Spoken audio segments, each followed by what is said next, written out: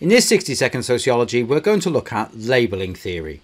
Labelling theory comes under the broad banner of interactionist theories and is associated with the work of both Charles Cooley and Howard Becker. Labelling theory suggests that individuals will perceive themselves based upon their interactions with others. Individuals will make sense of their own self based upon the way in which people treat them. And this can be seen in Cooley's work, The Looking Glass Self. Individuals would interpret the way in which others interacted with them and attribute those personal characteristics to themselves. Other applications of labelling theory can be seen in crime and education. In crime, the labelling of an individual when they have committed a criminal act can lead to the development of a master status and lead to further criminal behaviour. In education, negative labels can be internalised by pupils and they form a self fulfilling prophecy